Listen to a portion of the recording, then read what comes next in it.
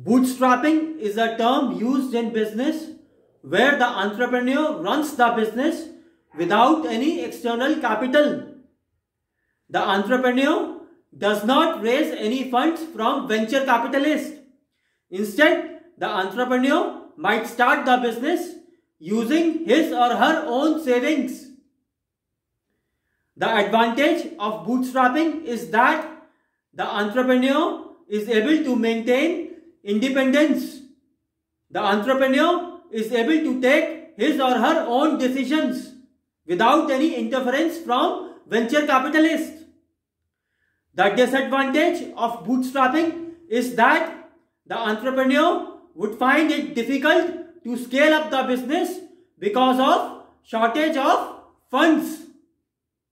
So friends, that's it for now and please continue watching my channel for more videos and please subscribe to my channel. Thank you.